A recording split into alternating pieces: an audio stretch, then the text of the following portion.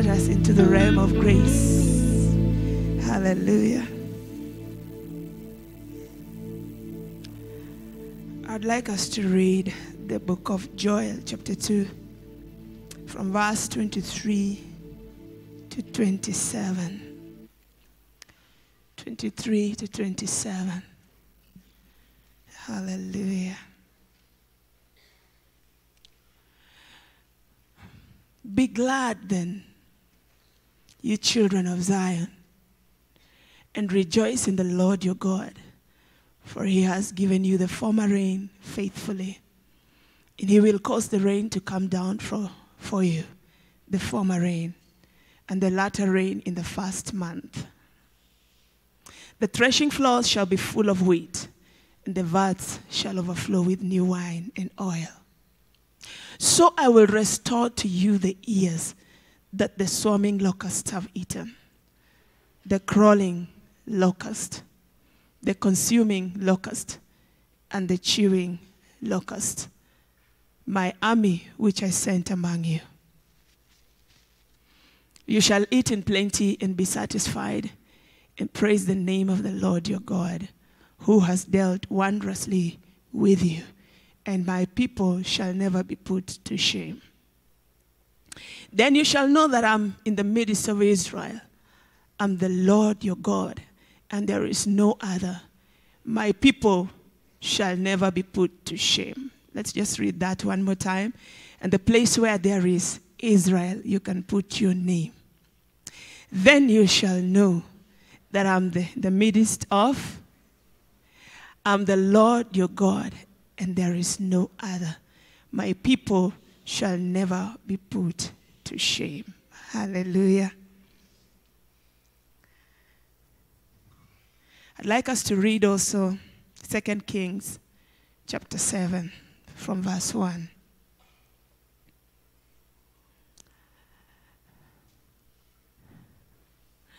Then Elisha said, Hear the word of the Lord. That says the Lord. Tomorrow, about this time, a seah of fine flour shall be sold for a shekel, and two seahs of barley for a shekel at the gate of Samaria. Two. So an officer on whose hand the king leaned answered the man of God and said, Look, if the Lord would make windows in heaven, could these things be? Could this thing be? And he said, In fact, you shall see it with your eyes but you shall not eat of it. Now there were four leprous men at the entrance of the gate, and they say to one another, Why are we sitting here until we die? If we say we will enter the city, the famine is in the city, we shall die there. And if we sit here, we die also. Now, therefore, come, let us surrender to the army of Syrians. If they keep us alive, we shall live. And if they kill us, we shall only die. And they rose at twilight to go to the camp of the Syrians. And when they had come to the outskirts of the Syrian camp, to their surprise, no one was there. For the Lord had caused the army of the Syrians to hear the noise of the chariots and the noise of horses, the noise of a great army. So they said to one another, Look, the king of Israel has hired against us the kings of the Hittites and the kings of the Egyptians to attack us. Therefore, they arose and fled at twilight and left the camp intact, their tents, their horses, and their donkeys, and they fled for their lives. And when these lepers came to the outskirts of this camp, they went into one tent and ate and drank, and carried from it silver and gold and clothing, and went and hid them. Then they came back and entered another tent and carried some from there also, and went and hid it. Then they said to one another, We are not doing right. This day is a day of good news, and we remain silent. If we wait until morning light, some punishment will come upon us. Now, therefore, come, let us go and tell the king's household. So they went and called to the gatekeepers of the city and told them, saying, We went to the Syrian camp, and surprisingly, no one was there, not a human sound, only horses and donkeys tied, and the tents intact. And the gatekeepers called out and they told it to the king's household inside. 12. So the king arose in the night and said to his servants, Let me now tell you what the Syrians have done to us. They know we are hungry, therefore they have gone out of the camp to hide themselves in the field, saying, When they come out of the city, we shall catch them alive and get into the city. And one of his servants answered and said, Please, let several men take five of the remaining horses which are left in the city. Look, they may either become like all the multitude of Israel that are left in it, or indeed, I say, they may become like the multitude of Israel left from those who are consumed. So let us send them and see. You can continue reading on and on. Bwana. Restoration. You can tell your neighbor restoration.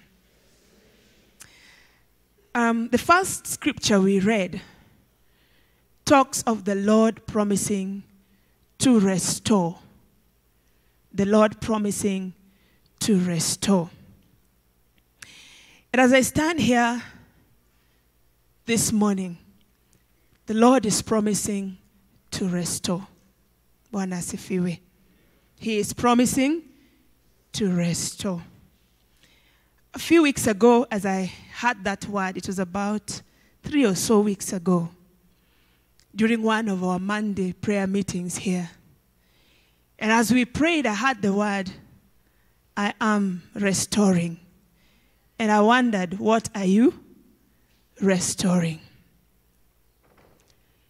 So the Monday passed, and when we got into Sunday, another day we were leading worship here, and the word was repeated I am restoring. I am restoring.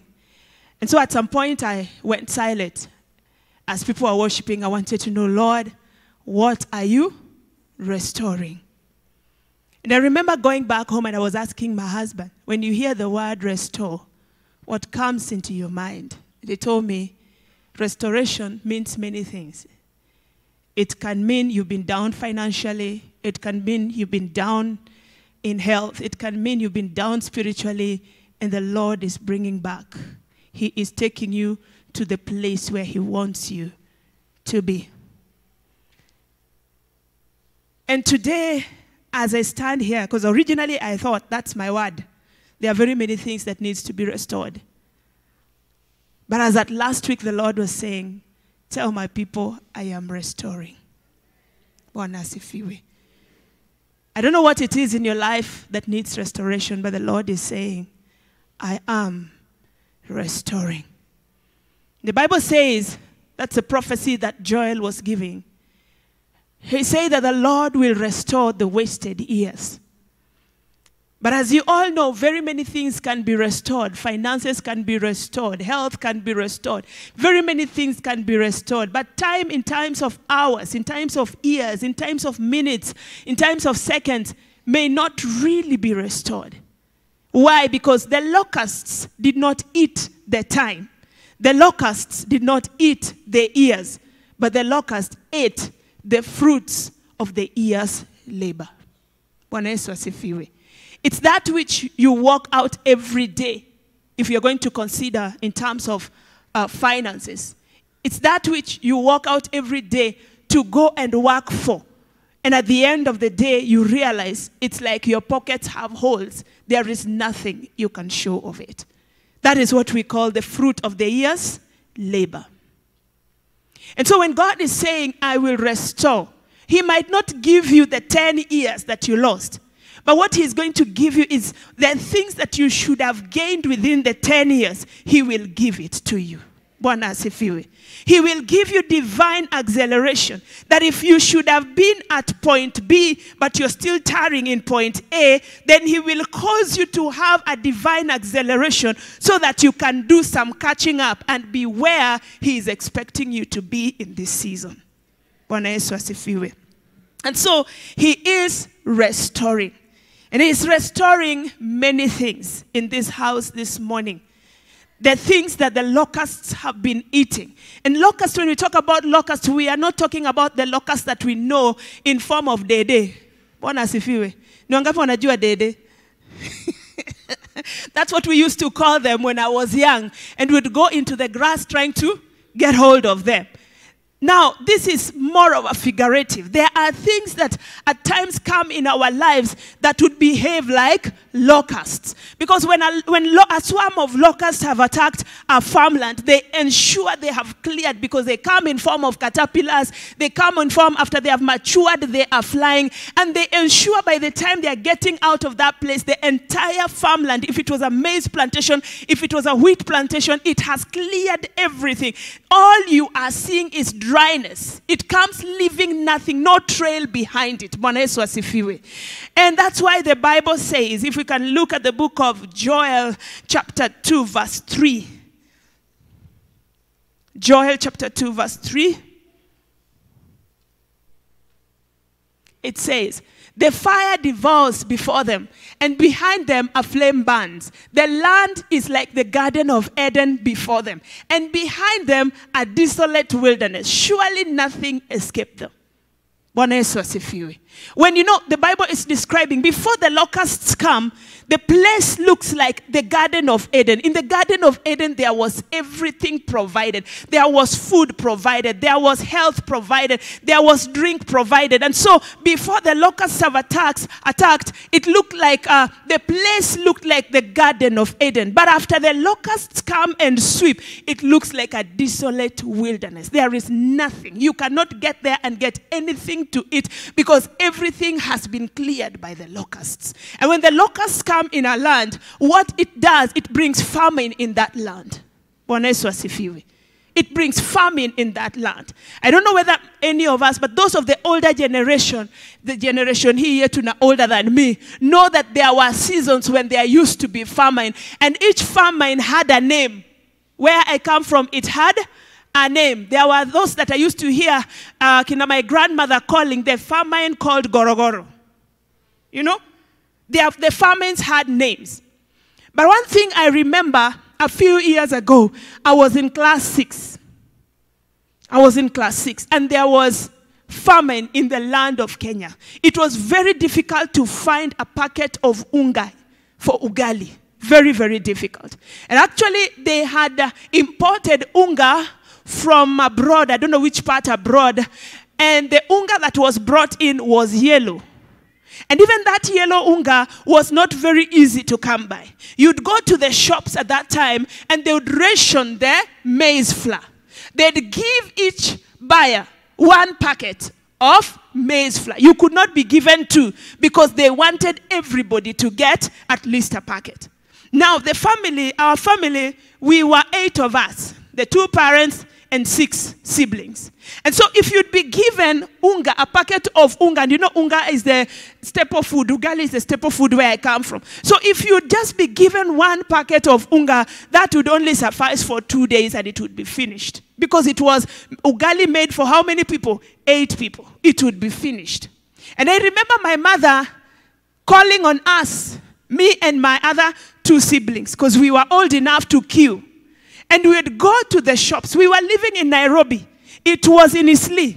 We'd go to the shops and the queue behind her and behave as if we don't even know each other. Each person would be given money so that at least by the time we are gathering at home, we have four packets of unga to survive on. That is the, the, the, the, the description of famine that I can remember, that at least found when I could uh, distinguish between right and wrong. And so when I think about the Israelites, the locusts have come. The Bible says that what the chewing locust, according to uh, the book of Joel, chapter 1, verse 4, what the chewing locust had eaten and left, the swarming locust came and ate. And what the swarming locust had eaten and left, the crawling locust came and ate. What the crawling locust had left, the consuming locust came and ate. Four stages of locust. There was literally nothing to be eaten. Bwana asifiwe. During that time, the Israelites would uh, give, they used to give uh, grains as offerings. But at this time, because everything had been consumed, there was nothing that they could give in the temple of the Lord as an offering. And as we are sitting here this morning, maybe your life has been attracting swarms of locusts. Yeah? It first started by a sickness that struck a member of the family. And when sickness, sickness strikes, what happens is it consumes all finances until you're dry. Then, when the sickness is over, maybe a child in the family decides to get into drug or substance abuse.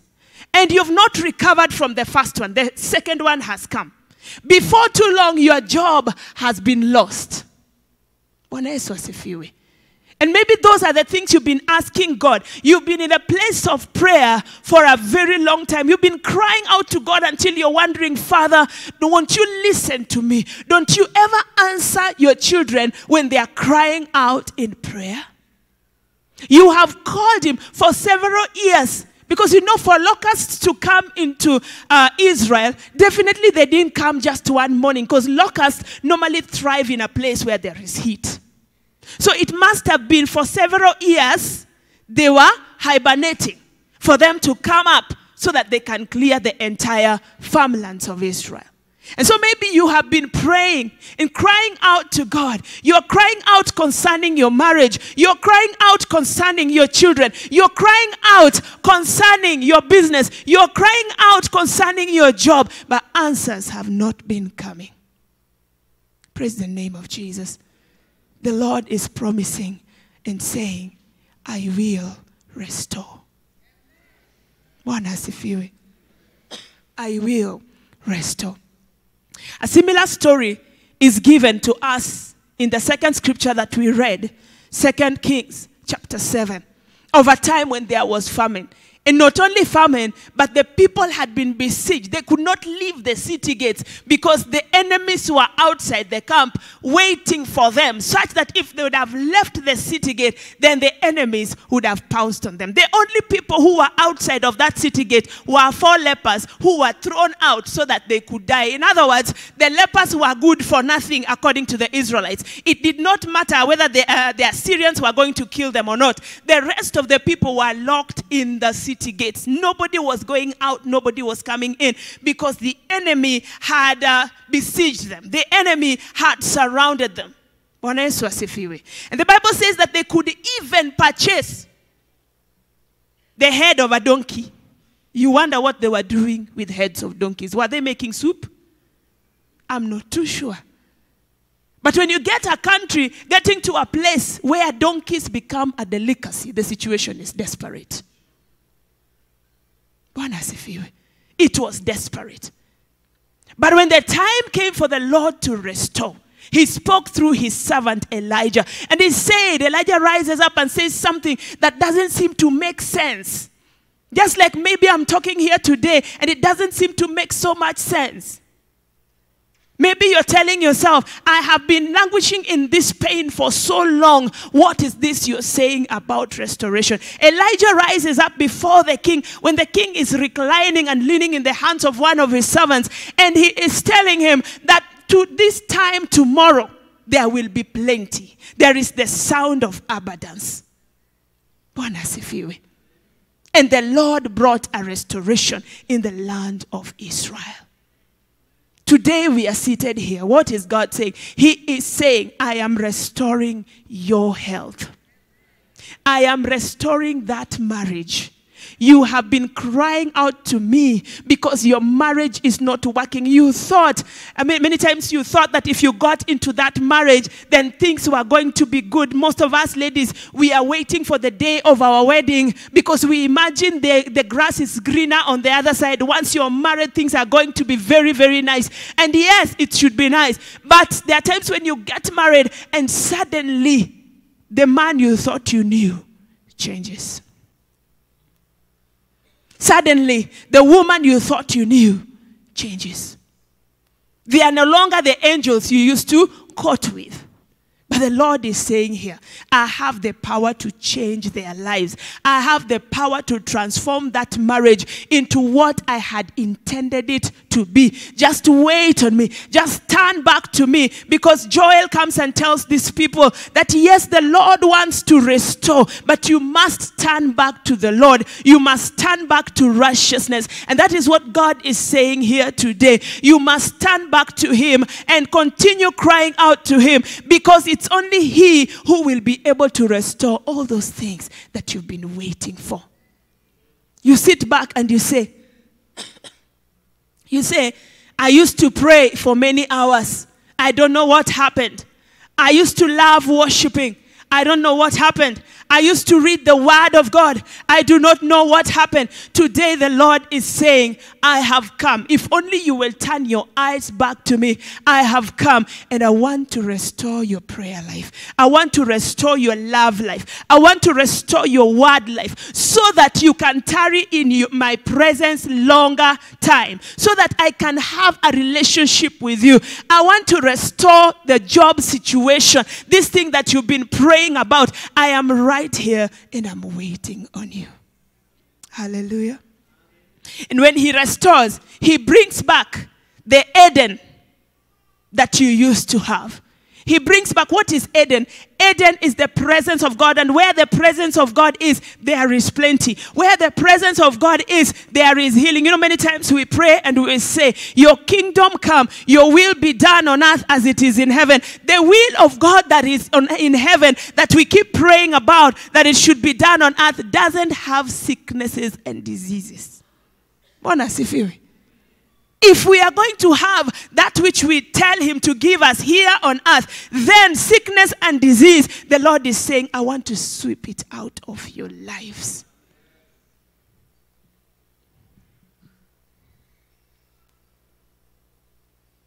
For the Israelites,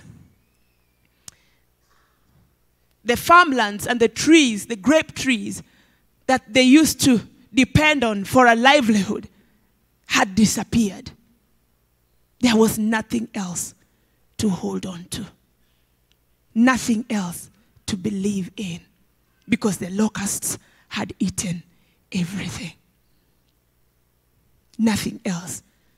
All that was left was for them to turn back to God because it's only God who would have driven out the locusts. It's only God who would have brought a fresh rain in its right season. It's only God who would have brought restoration in that place.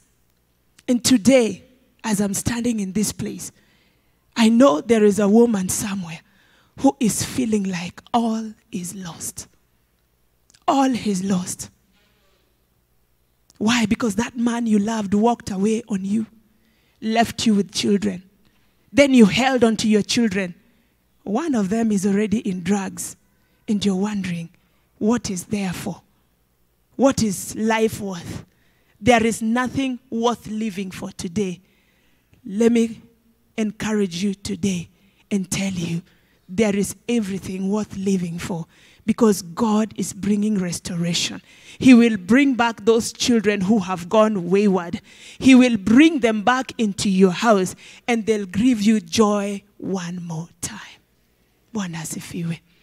There is there could be a brother here or a sister here who sickness and disease you've walked into that doctor's office and they told you you can only manage this. Bwana asifiwe. Ndio vile daktari wanaongeaga as if they have the final say. This one can only be managed. This one is called terminal, as if they give life.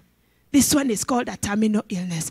I am here to announce to you today that Jehovah, who has the final say, has said that He will restore your health. He has said that He will restore your finances. He has said that He will restore your marriage. And so He is worth trusting because He is faithful. He watches His word to perform it.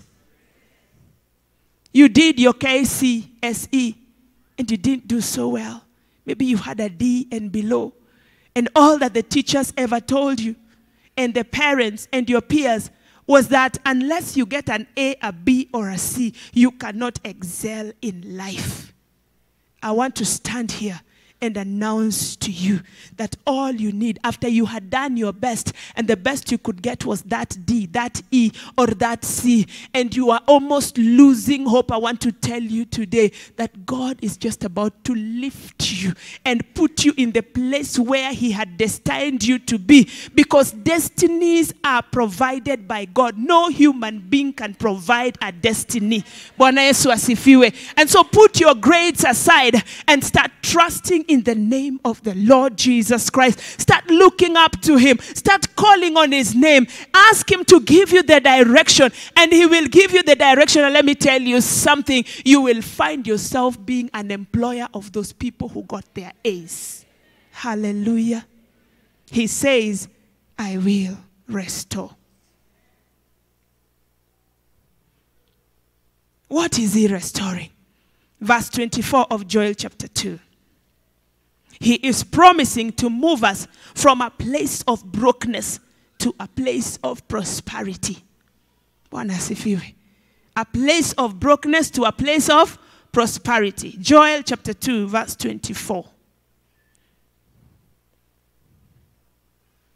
The threshing floors shall be full of wheat. The vats shall overflow with new wine and oil. Bwana asifiwe. Those of us who have been going through financial constraints until we have resigned to fate. We keep saying it's because our economy is not good. We agree with them when they are saying our GDP is not very okay. But I want to tell you today that the GDP of the kingdom of God where you belong is okay. Bwana. And when he says that he's moving you from a place of brokenness to a place of prosperity, then that is what he will do in your life. Number two, he is moving us from a place of hunger to a place of satisfaction. Verse 26. We will have plenty to eat and be satisfied. That is in Joel chapter 2, verse 26. Bwana Yesu asifiwe. You shall eat in plenty and be satisfied. The Lord will provide. A few years ago, when my dad passed away and we were left, and I remember we were told by our uncles that we will drink uji. Uji. Unajua uji, when you're told you're drinking uji in my community, it's not on a positive note. It means you will suffer. But you know what? As we trusted in God, many times we stand together with my siblings right now. Both my parents are gone. But we stand and many times we look at each other laughing and we say, Yes, we are drinking uji, but the flavored one. Bwana asifiwe. I want to announce to somebody here today, someone who has been feeling they are taking that porridge, that God is just about to flavor it. And you will choose when to drink it and when not to drink it. Bwana Yesu asifiwe. Because He's bringing you to a place of satisfaction. He is moving you from a place of hunger to a place of satisfaction. Why? Because you will have turned your eyes to Him. And because He is our Father, He is our provider. Fathers provide. Bwana Yesu asifiwe. And so He will provide for you, He will provide for me. We will no longer be in hunger. Number three, He is restoring us to a place of praise. A place where we will praise the Lord. We will no longer walk with our heads down. Bwana asifiwe. You know, there are times when you go through so many hard circumstances, you are wondering what you're going to do. You have children, you want to provide for them a meal, but there is nothing. And at times you come to this church because your children have nothing at home. So you've decided to leave them in the house. You come and tuck yourself in a corner in this church to call on the Lord because you don't want to sit somewhere and watch them die of hunger. I want to tell you today that though you have been going through that, though you've not been able to praise effectively, because He's moving you from hunger to satisfaction, He's moving you from brokenness to prosperity, it is time to arise and give Him the highest praise because He is going to bless you. So He's giving you a praise, He's giving you a heart of praise, He's giving or it's restoring your praise back to you. Hallelujah. He is also bringing you to a point where shame shall not occur to you a second time. Hallelujah. You will no longer be ashamed. Just like the Bible says in chapter 2, verse 27. You will no longer be in shame. Bwana Yesu asifiwe. Many times when you're going through the hard times, there are times when I know you've walked into this church and you hear a pastor standing here and saying, We are going to give for the DCI bus. We are going to upgrade hospitality. Come on, come and pledge, come and pledge. And you're sitting down there, you're wondering, what do I have to pledge? You're feeling embarrassed about it, even when the offering bags are going round, because you don't have anything to put in that offering basket. Deep inside of you, you are wishing if you could jump into that bag yourself and give yourself as the offering, because you don't have anything in your pocket. Maybe last night you slept hungry, and today you are supposed to give it. There's nothing you're going to give. And as you walk out of this place, you're telling yourself, What do I have to offer to my children today? What do I have to offer to my wife and children today or to my husband? You don't have anything. Today, we want to announce that as He's bringing restoration, He's removing shame from you. You will no longer be disgraced again.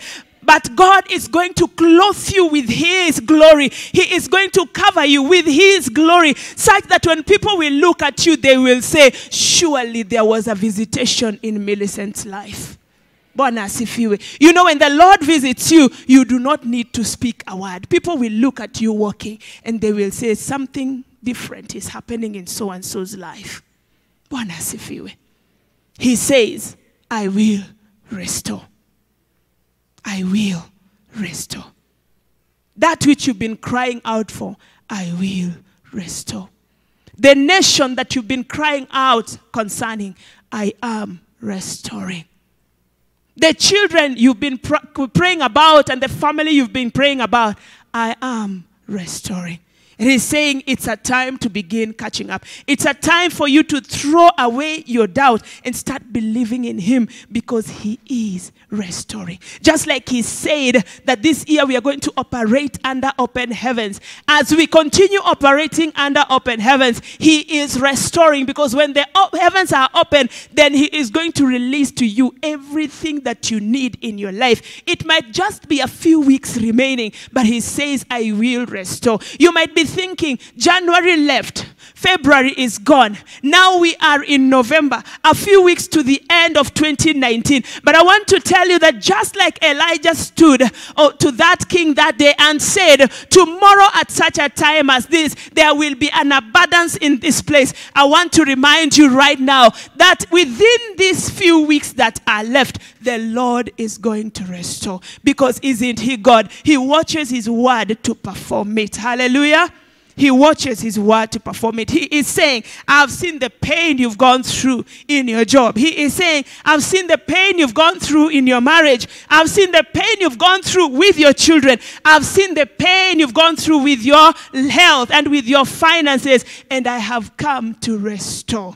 He told Moses, in the wilderness at the burning bush that I've heard the cry of the Israelites and I have come Bwana asifiwe. That's what he's telling us today. I've heard the cry of that brother out there and I have come. I've heard the cry of that sister out there and I have come. I have not just come to look at them aimlessly. I've not just come to stand there and do nothing, but I have come so that I may restore. I have come so that I may answer their prayers. I have come so that I may be the answer to their cry, the cry that they have been having through and through. He says, I've seen your tears and I've heard your cry.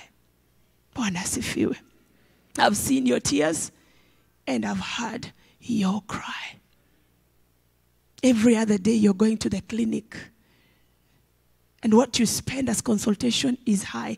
I have seen and I've heard your cry. Hallelujah. As I invite the ministry team briefly, you can connect with somebody And if you just feel like rising up on your feet, the Lord is here to restore. But remember, Joel told the people of Judah that they need to turn back to the Lord. Maybe you're here, you need your life restored, but you're not yet born again. That is the beginning of restoration you can also walk here and just give your life to Christ because He will restore. He is the destiny changer. He is the way maker. He is the miracle worker. And He is in the house this morning. He is in this place this morning. You want a restoration of any kind, just walk to one of the ministry team members. Oh, Shilababushintekezaya. He will restore. He says, I have come because I've heard your cry. I have come because I've seen your tears. Those tears that you've shed because of that child of yours, I have come. And I'm here to change the destinies. The rest of us can just be in worship to the King of Kings. Oh God, we love you. And if you're seated there, you also still need the Lord to restore. You can just uh, arise on your feet and just tell Him, Lord, you know this area in my life that I need a restoration in. I need a restoration in this area.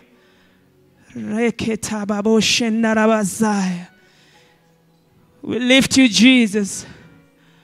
Oh, we lift you, Lord. We thank you, Jehovah. We thank you, King in glory.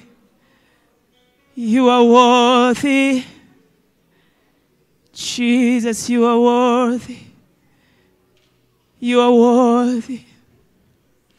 Miracle worker. You are the miracle worker. Come and do a miracle, a miracle today. Come and do a miracle, a miracle today.